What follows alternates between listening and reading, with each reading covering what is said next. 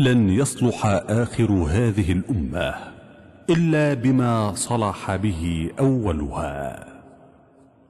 موقع أنا السلفي. الحمد لله.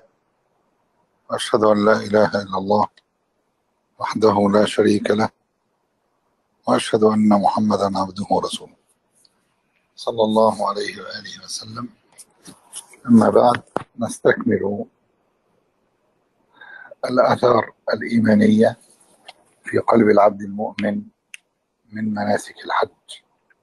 قال جابر رضي الله تعالى عنه في وصف حجة الوداع قال بعد أن ذكر طواف النبي صلى الله عليه وسلم وصلاة الركعتين خلف المقام ثم شربه من ماء زمزم ثم استلامه الحجر ثم ذهابه إلى الصفا خرج من الباب إلى الصفا إذ كانت الصفا والمروة خارج المسجد يومئذ.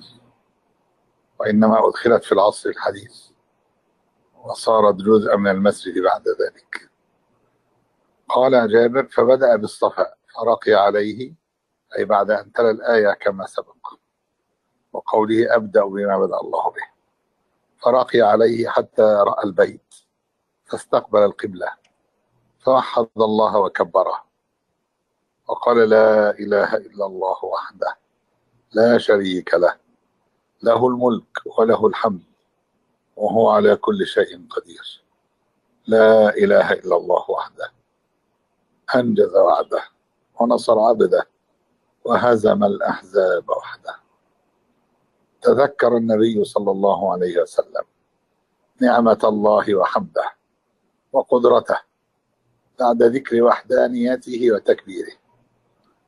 يعني المشروع للعبد أن يرقى على الصفا يرتفع عليه كما وقفت عليه هاجر رضي الله تعالى عنها وأن يستقبل القبلة يستقبل البيت وينظر إليه ويقول لا إله إلا الله والله أكبر.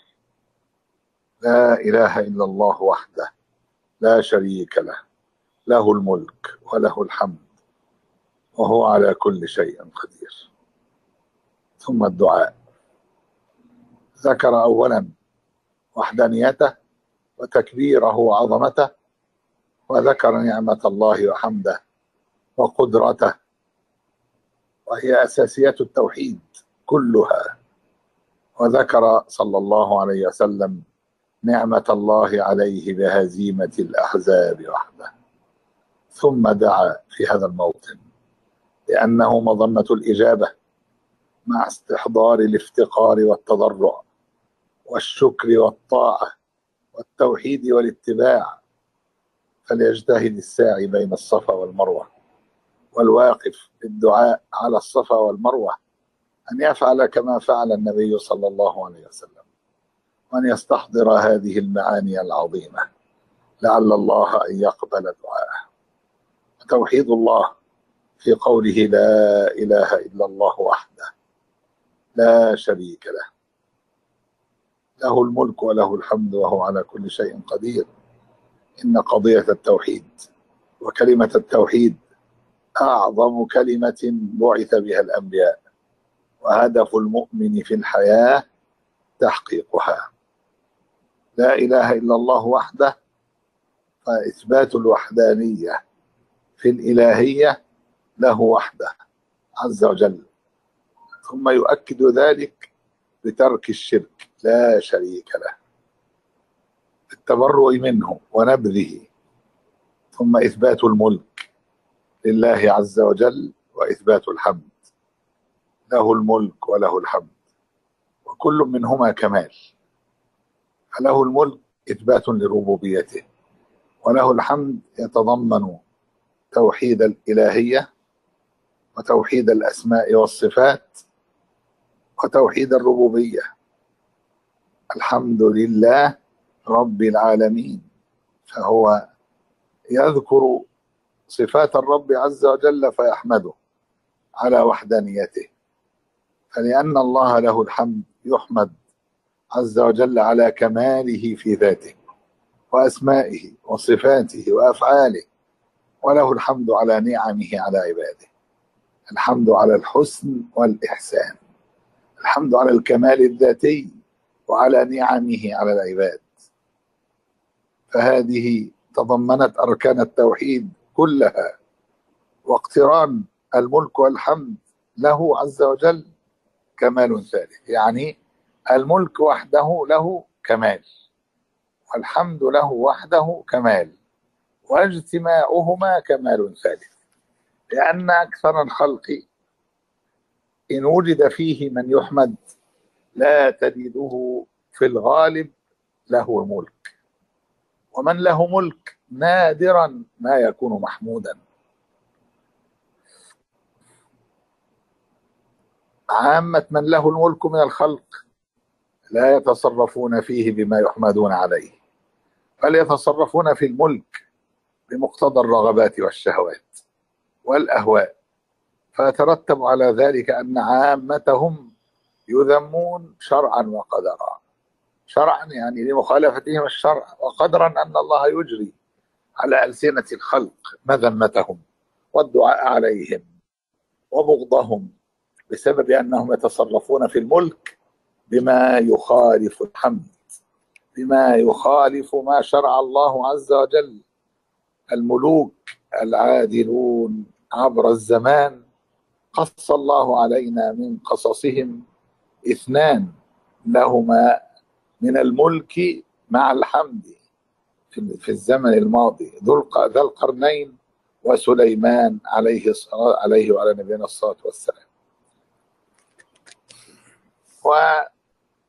ومدة الجمع بين الملك وحسن التصرف في الأمة هي في فترة النبوة وفترة الخلافة الراشدة وهي قليلة بالنسبة إلى عمر الأمة.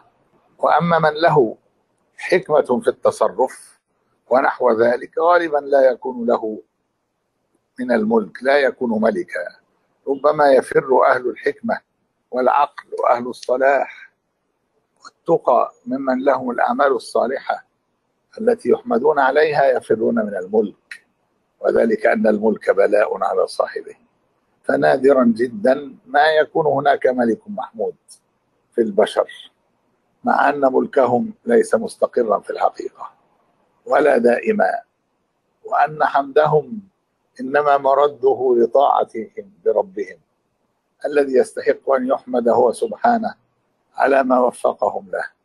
فرغم ضعف نصيب المخلوقين من الملك والحمد المجازي ومع ذلك الملك المجازي لأنه مش مستقر وحمد مجازي لأنه إنما كان لطاعتهم لمن له الحمد ومع ذلك فنادرا ما يجتمعان. ولذا كان اجتماعهما في حق الله كمال ثالث. فهو يتصرف في الملك بما يقتضي حمده وهذا فيه إثبات للقضاء والقدر وإثبات الحكمة والتعليل وإثبات كمال الرب فيما يصنع في خلقه. وكذا إثبات القضاء والقدر أتم وضوحا في قوله وهو على كل شيء قدير. لأن القدر قدرة الله وهو الإيمان بقدرة الله الشاملة. على أفعال العباد وذواتهم وأفعالهم الاضطرارية والاختيارية فهو على كل شيء قدير. نجد حقائق الإيمان كلها موجودة في هذا الدعاء العظيم وإذا استحضره العبد في هذا الموطن فإن طوافه بين الصفا بين الصفا والمروة سعيه بين الصفا والمروة يختلف عن مجرد المشي. ومجرد الصعود والرغبة في الانتهاء من هذا الركن الصعب الذي فيه مجهود. ليس كذلك بل إذا استحضرنا التوحيد والتكبير وكررنا معنى توحيد الإلهية واستحضرنا نفي الشريك ونفي الشرك وأهله والتبرؤ منهم. واستحضرنا حمده وملكه واجتماعهما واستحضرنا كمال قدرته وقضاءه وقدره. تجد حقائق الإيمان أمام عينيك.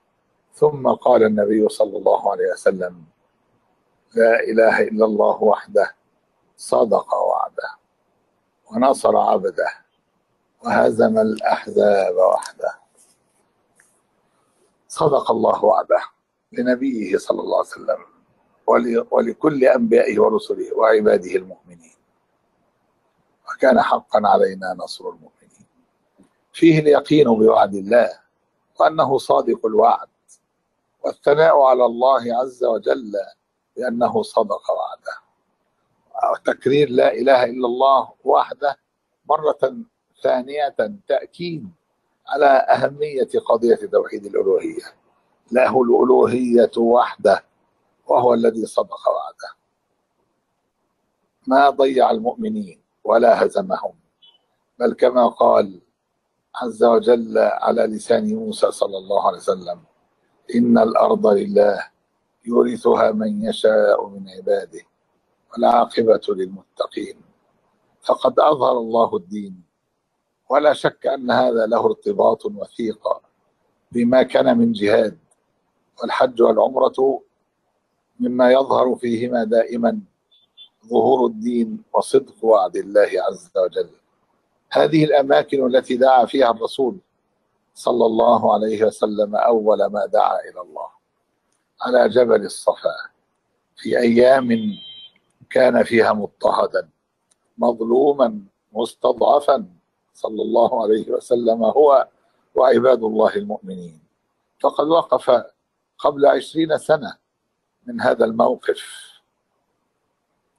على جبل الصفا. يعني من موقفه يوم حدث الوداع منذ عشرين سنة من هذا اليوم عندما أمر بالجهر بالدعوة بعد أن كانت الدعوة أولا في السر ثم أمر بأن ينذر فقام على جبل الصفا. دعا قريشا فعم وخص وقال أنقذوا أنفسكم من النار. فإني لا أغني عنكم من الله شيئا. وسمى عمه العباس وسمى ابنته فاطمة وسمى أفرادا من قريش فقابلوه بالسوء وقال له عمه أبو لهب تبا لك ألهذا جمعتنا تبا لك سائر اليوم ألهذا جمعتنا لما دعاهم إلى التوحيد. فبعد عشرين سنة كان النصر نصرا عظيما. وقف النبي صلى الله عليه وسلم في نحو مائة ألف من أصحابه بل مئة وأربعين في بعض الروايات. وقد استجاب الله دعوته ونصره وأعزه وأعلى شأنه ورفع ذكره صلى الله عليه وسلم. وأصبحت اليوم أماكن للعبادات والأذكار يقصدها الناس من المشارق والمغارب ومن أرض الله كلها بعد إن شهدت في أيام الإسلام الأولى الأذى الذي تعرض له أهل الإسلام من المهاجرين الأول وما تعرض له النبي صلى الله عليه وسلم من أذى قولا وفعلا ومع ذلك ومع ذلك صارت تقصد من كل مكان في الأرض. بفضل الله. لا يوجد مكان في الأرض يعظمه أصحابه وأهله مثل ما يعظم المسلمون. هذه الأرض المقدسة التي يحجون ويعتمرون إليها. فالجهاد والحج والعمرة قرينان في ظهور هذه المعاني. ويقال دائما في كل سفر. ولكن هذا أخص وأظهر. والله أعلى وأعلم. يعني لا إله إلا الله والله أكبر يقال في كل سفر. وقوله صلى الله عليه وسلم صدق وعده. يحتاج المؤمنون إلى هذا دائما خصوصا مع شدة الحال ومع تكالب الأعداء. فلا بد وأن توقن بصدق وعد الله. كما كان الناس في الأزمنة الأولى للإسلام. يرون بالموازين الأرضية أن الهزيمة لاحقة بالمؤمنين ولا بد. فقد قال تعالى حاكيا قولهم يقول المنافقون والذين في قلوبهم مرض ما وعدنا الله ورسوله إلا غرورا. وقال إذ يقول المنافقون والذين في قلوبهم مرض غر هؤلاء دينهم. نعوذ بالله من من هذا الحال. كما يقول كثير من الناس اليوم توسوس له نفسه أن لا فائدة وأن الإسلام قد حوصر وأعداء الله ملكوا أنواع الأسلحة وهم قد حاصروا المسلمين في كل مكان وقد تلبسوا بأنواع من الشدة على المؤمنين من الجيوش التي بين أيديهم وأنواع من المعرفة والعلوم الحديثة. ولذا يقول البعض لا فائدة. على العبد المؤمن أن يوقن أن وعد الله صدق وأن, وأن الله مظهر دينه. بل والله إن هذه الأمور التي تجري للمسلمين من الظلم والعدوان من أعظم أسباب قوة الدين.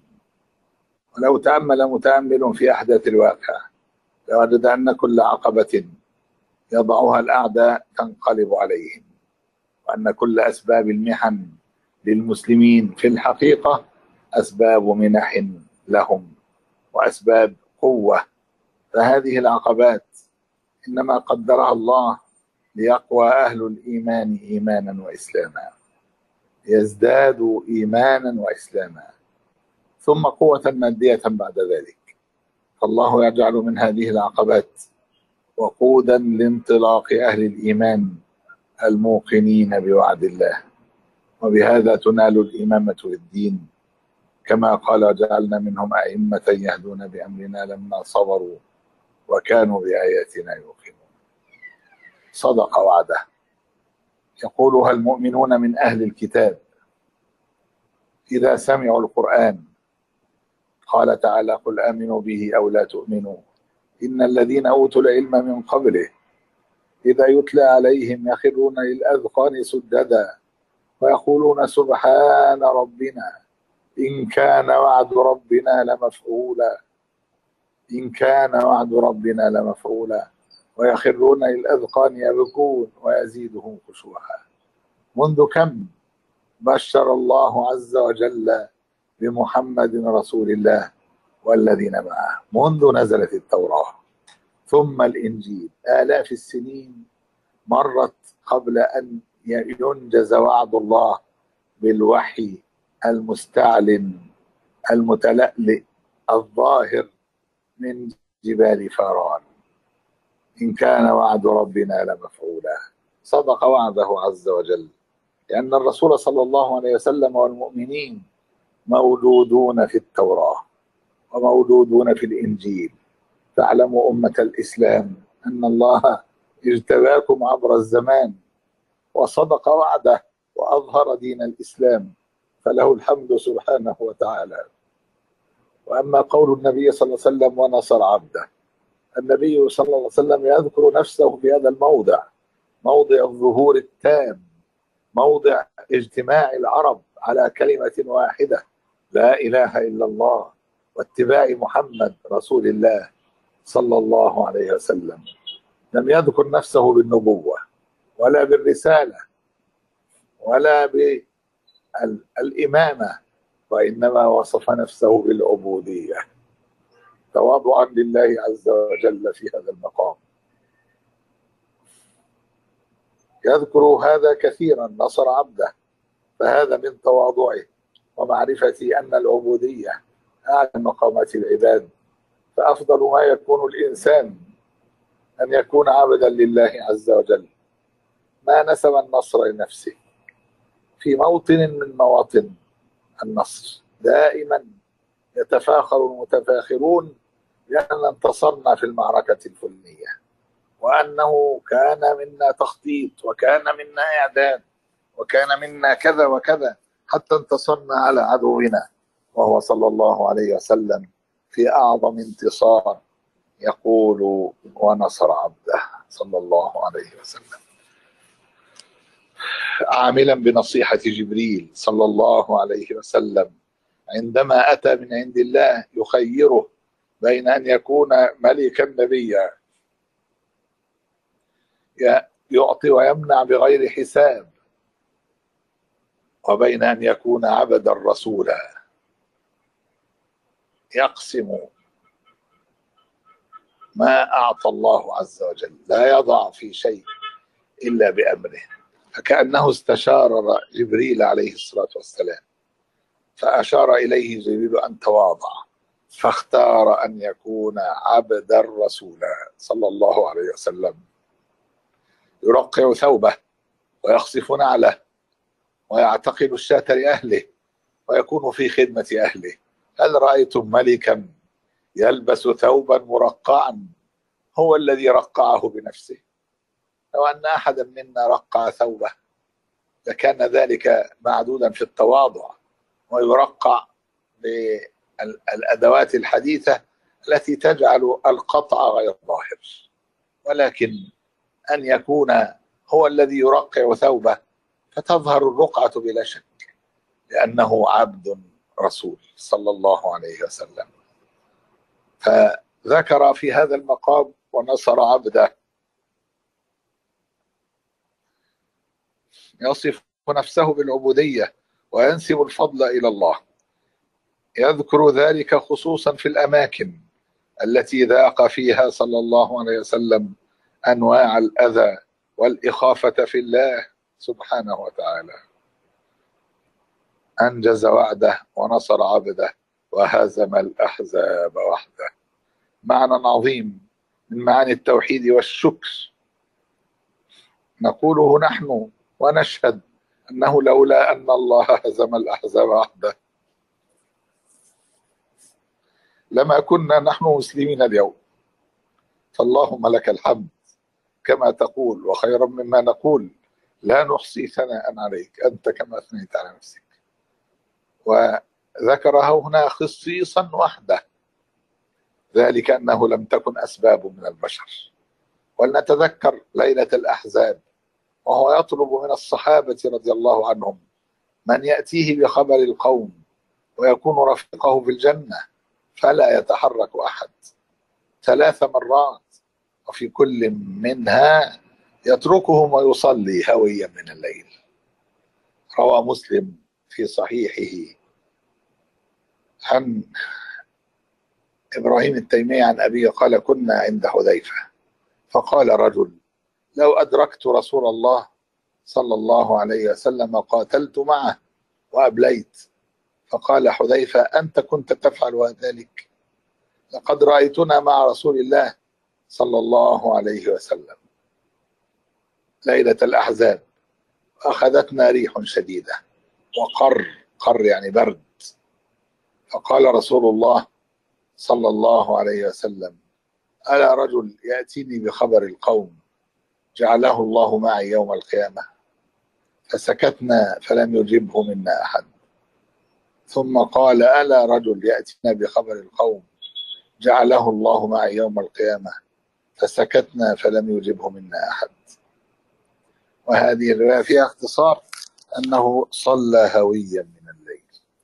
صلى جزءا من الليل.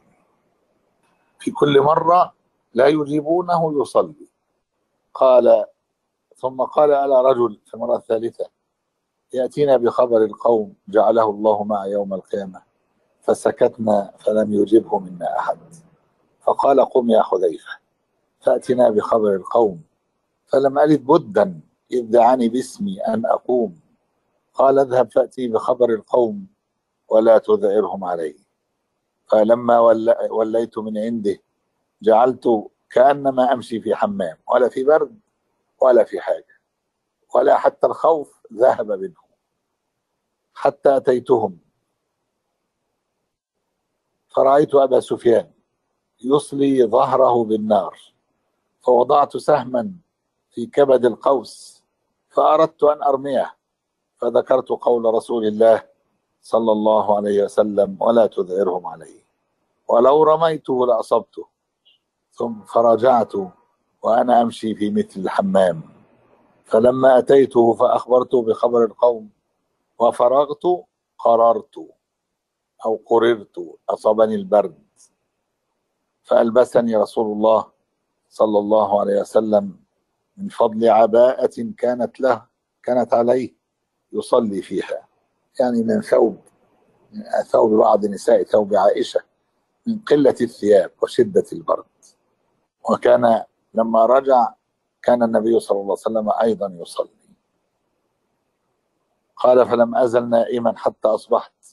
فلما أصبحت قال قم يا نومان. سبحان الله. لما ذهب حذيفة وأتاه بخبر القوم الذين تفعل بهم الريح ما تفعل. تطفئ نيرانهم وتقلب قدورهم وتخلع خيامهم وتفعل بهم جنود الله ما تفعل من إرعابهم. فأرسلنا عليهم ريحا وجنودا لم تروها وكان الله بما تعملون خبيرا. إن هزيمة الأحزاب لم تكن بهمة وعمل من البشر. تناقص الناس حول النبي صلى الله عليه وسلم من شدة الفتنة والزلزلة من شدة الخوف وشدة الجوع وشدة البرد وشدة الظلمة والريح. حتى كانوا في أول الغزوة ثلاثة آلاف وفي ليلة رحيل الأحزاب كانوا ثلاثمائة ولم يصنع أحد شيئا لهزيمة الأحزاب فيستفاد منه أنه مهما تحزب أعداء الإسلام ومهما اجتمعوا على عداوة هذا الدين وعلى حرب الرسول الكريم صلى الله عليه وسلم فإن من يحارب مبادئ الإسلام ويحارب ما جاء به النبي صلى الله عليه وسلم إنما يحارب الرسول صلى الله عليه وسلم. ومن هؤلاء الأحزاب هؤلاء الذين وإن زعموا أنهم أتباعه أنهم أتباعه وإن صلوا وإن أتباعه أنهم أتباعه وإن صلوا عليه بألسنتهم عشرات أو مئات المرات لكنهم يحاربون ما جاء به ويعادون ما جاء به من التوحيد والإيمان وينشرون الفساد في الأرض ويصدون عن سبيل الله سواء من الكفرة أو المنافقين. ولو قال المنافق بلسانه إن إنه يعظم الرسول صلى الله عليه وسلم ولكن ما دام أنه يصد عن سبيل الله فهو من الأحزاب الذين تحزبوا على الحق والله هازمهم. وهذا مما يشرع به الدعاء في المواطن المختلفة ويدعى الرب عز وجل بأنه هازم الأحزاب وحده. هذا استعمله النبي صلى الله عليه وسلم بصيغة الاسم وصيغة الفعل. في عند الصفا والمروة يقول هزم الأحزاب وحده. وعندما إذا التقى الصفان كان يقول اللهم منزل الكتاب ومجري السحاب وهازم الأحزاب. وفي رواية سريع الحساب اهزمهم وزلزلهم وانصرنا عليهم. وهذا أمر يحبه الله. وهذا الثناء على الله في هذا المقام في هذا الجمع. يدل على فضل الثناء على الله بهذا الذكر فله الحمد. فكل هذه أحاديث رفيعة القدر جدا.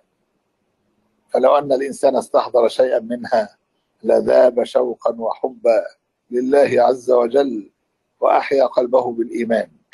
فهذه الأذكار نادرا ما تخطر معانيها ببالنا ونحن نسافر.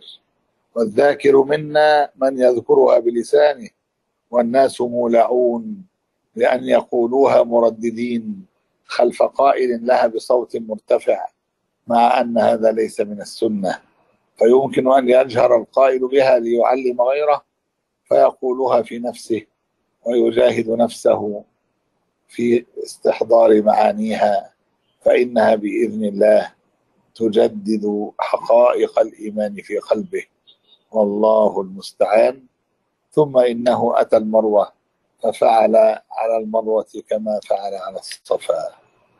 قال النووي فيه إنه يسن عليها من الذكر والدعاء والرقي مثل ما يسن على الصفا وهذا متفق عليه. والذي يظهر أنه عندما دنا من الآية أنه دنا من المروة قرأ الآية أيضا. والظاهر أنه يقرأها كاملة وإنما أشار الراوي إليها كما ذكرنا. والله أعلى وأعلم ونستكمل في مرة أخرى إن شاء الله. وأقول قولي هذا وأستغفر الله لي ولكم.